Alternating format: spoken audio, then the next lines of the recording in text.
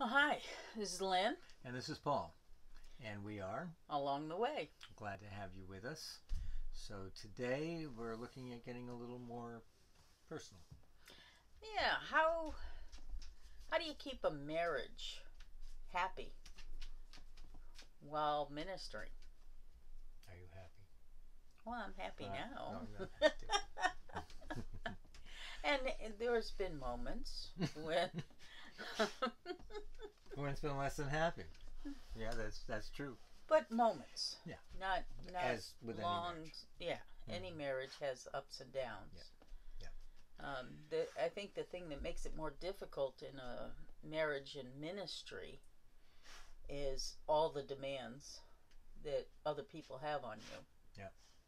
So maybe we can start here. Let me ask you. Uh, think back early on, Mm.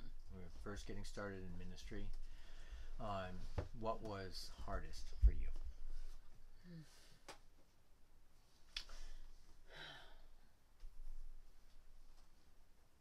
Well, that was hard because you were going to school full time, ministering part time, plus working on the side, plus father of three kids. So there was very little time And left. husband of one wife. And yes, uh, but there was very little time for you and me. Mhm. And um, I think I always go back to uh, when we were in seminary and that initial uh, conversation with the students at Asbury, and um, how they they talked about needing that day of rest, Mhm. needing that time, and and carving that out. Right. And and we did talk about that in a previous video, but that you know that's a challenge. I mean, just to especially to establish it in the beginning, and to stick to it when time gets really really tight. Um, Yep. So. Um, Yeah, I mean, right now we're going through a season of we're looking at probably three weeks with you not being able to have a a full day off. Yeah. Um, and in that, trying to take advantage of a time off where, where we can. hmm But I think partly what makes that doable now, in, in at least in the better way than in the beginning, is that we both know that um, we both know the demand is is real, and we both know that it's not our ideal to to be working when ideally we would be off. And this is temporary. It is temporary. Yeah. Uh, so we help each other uh, navigate that time. Uh, But it was it was important. It was very important um, early on in ministry to establish family time, mhm. our time, Mhm. and family time. Yeah. And teaching our children the difference between family time and our time. Yes, our time as a couple. Yes. Yeah. Yeah, that's a really good point because that was also a priority uh, to us. We wanted to make sure the kids knew mom and dad came before they did. Mom and dad will be here when they're out of the house. Uh, and so we wanted to prioritize our relationship, n- not only in terms of time, but even in front of the children. Uh, Well, it was an example to them That's on how they need to live with their spouses. Mhm. Yeah, yeah.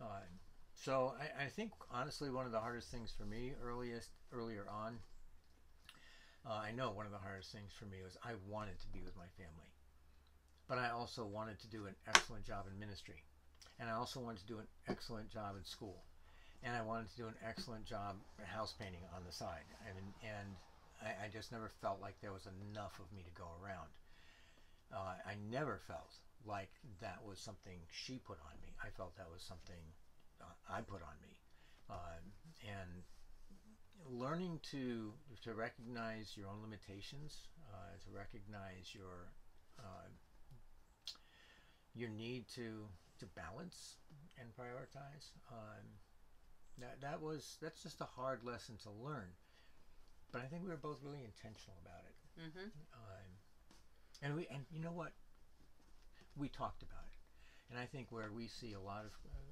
couples struggle is they they keep this concern to themselves because they don't want to weigh their partner down or put guilt on their partner. We talk about everything, Yes, we do. always have, and and if one of us wasn't right there ready to talk about it, the other one was insistent, um, and uh, because because it's important, it's Yeah, critical. yeah. I think we'll leave with that tip Yeah, yeah. about, you know, putting your spouse important, number one importance, hmm and talk with them. Talk with each other all the time. So Yeah. yeah. Hope this is helpful. Uh, we'd love to talk with you more, and we'd love to hear your comments about your experiences in ministry and Or, or marriage. and marriage and family and uh, uh, what you've done to work those things out, uh, perhaps what you're struggling with. So I hope you'll put your questions and comments uh, in the space below and hit like and, and subscribe. Mm-hmm. And we'll see you on down the road. We'll see you along the way. Bye bye. Bye bye.